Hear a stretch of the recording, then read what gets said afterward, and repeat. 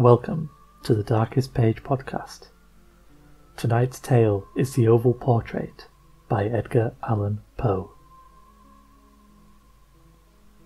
The chateau into which my valet had ventured to make forcible entrance, rather than permit me, in my desperately wounded condition, to pass a night in the open air, was one of those piles of commingled gloom and grandeur which have so long frowned among the Apennines, not less, in fact, than in the fancies of Mrs. Radcliffe.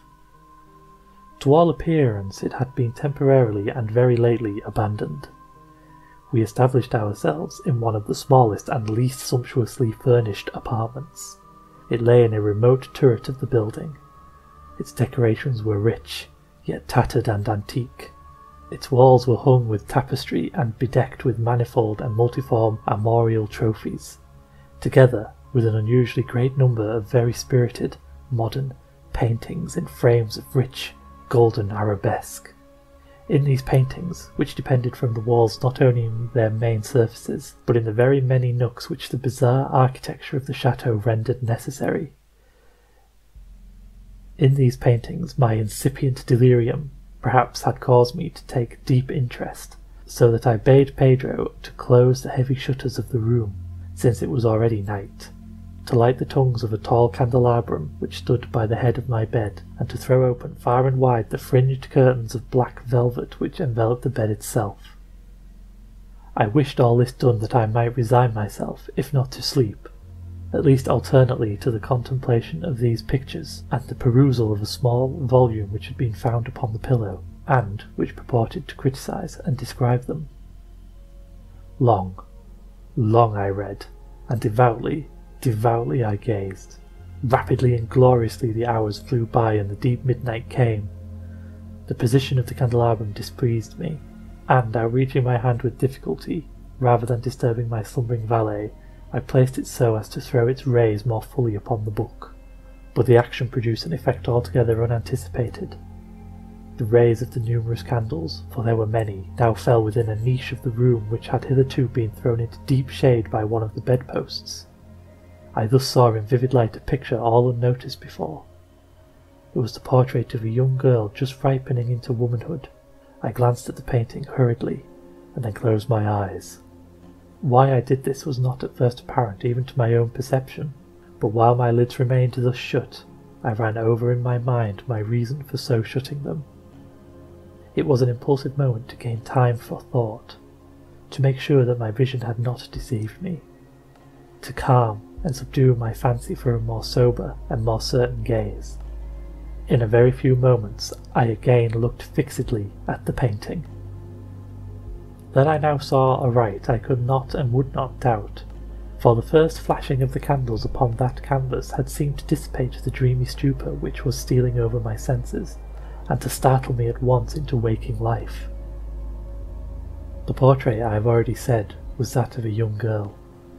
It was a mere head and shoulders, done in what is technically termed a vignette manner, much in the style of the favourite heads of Sully.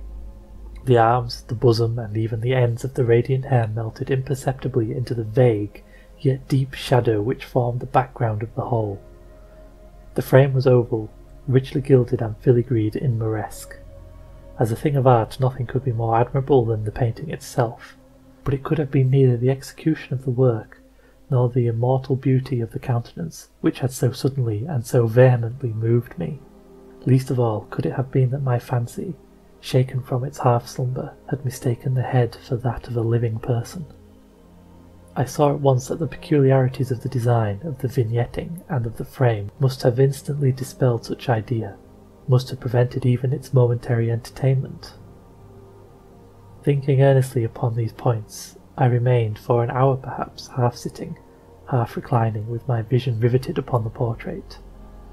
At length, satisfied with the true secret of its effect, I fell back within the bed.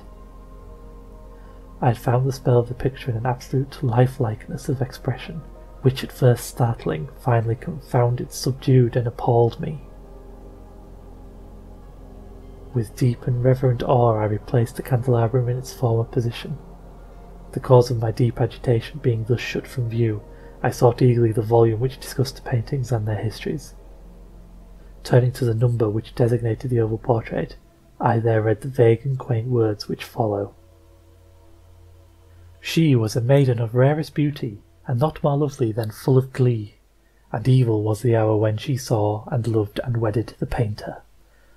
He passionate, studious, austere, and having already a bride in his art, she a maiden of rarest beauty, and not more lovely than full of glee, all light and smiles, and frolicsome as the young fawn, loving and cherishing all things, hating only the art which was her rival, dreading only the palette and brushes and the other untoward instruments which deprived her of the countenance of her lover. It was thus a terrible thing for this lady to hear the painter speak of his desire to portray even his young bride. But she was humble and obedient, and sat meekly for many weeks in the dark, high, turreted chamber, where the light dripped upon the pale canvas only from overhead. But he, the painter, took glory in his work, which went on from hour to hour and from day to day, and he was a passionate and wild and moody man who became lost in reveries so that he would not see that the light which fell so ghastly in that lone turret withered the health and spirits of his bride, who pined visibly to all but him. Yet she smiled on and still on, uncomplainingly, because she saw that the painter, who had high renown, took a fervid and burning pleasure in his task, and wrought day and night to depict her who so loved him, yet who grew daily more dispirited and weak and in sooth some who beheld the portrait spoke of its resemblance in low words as a mighty marvel, and a proof not less of the power of the painter than of his deep love for her whom he depicted so suppressingly well. But at length, as the labour drew nearer to its conclusion, there were admitted none into the turret, for the painter had grown wild with the ardour of his work, and turned his eyes from canvas merely even to regard the countenance of his wife and he would not see that the tints which he spread upon the canvas were drawn from the cheeks of her who sate beside him. And when many weeks bad passed, and but little remained to do, save one brush upon the mouth and one tint upon the eye, the spirit of the lady again flickered up as the flame within the sockets of the lamp. And then the brush was given, and then the tint was placed, and for one moment the painter stood entranced before the work which he had wrought. But in the next, while he yet gazed, he grew tremulous and very pallid and aghast, and crying with a loud voice, This is indeed life itself! turned suddenly to regard his beloved. She was dead.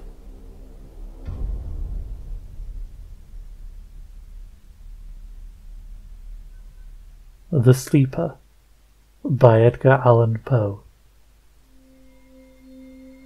at midnight in the month of June, I stand beneath the mystic moon.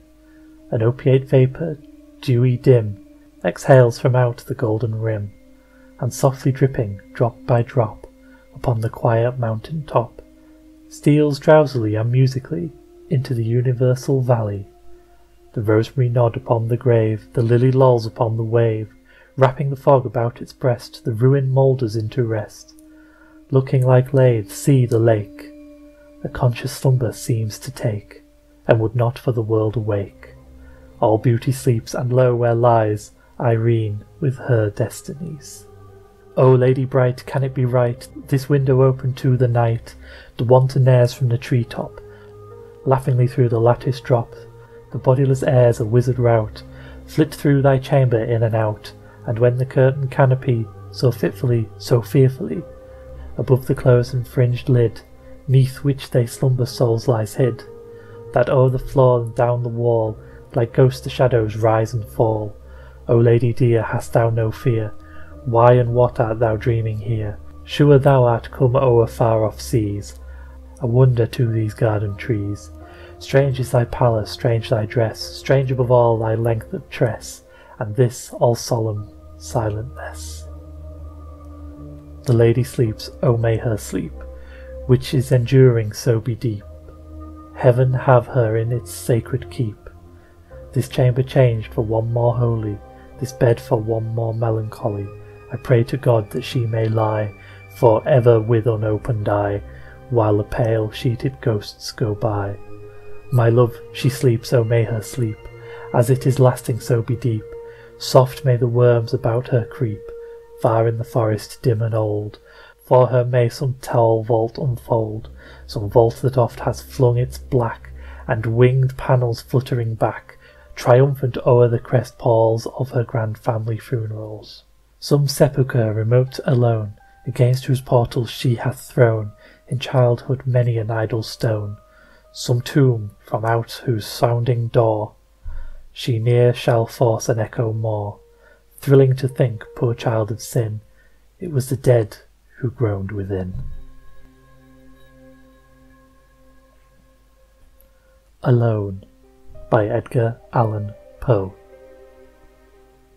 From childhood hour I have not been, as others were I have not seen, as others saw I could not bring my passions from a common spring. From the same source I have not taken, my sorrow I could not awaken, my heart to joy at the same tone, and all I loved I loved alone. Then in my childhood in the dawn of a most stormy life was drawn, from every depth of good and ill, the mysteries which bind me still, from the torrent or the fountain, from the red cliff of the mountain, from the sun that round me rolled, in its autumn tint of gold, from the lightning in the sky as it passed me flying by, from the thunder and the storm and the cloud that took the form, when the rest of heaven was blue, of a demon in my view.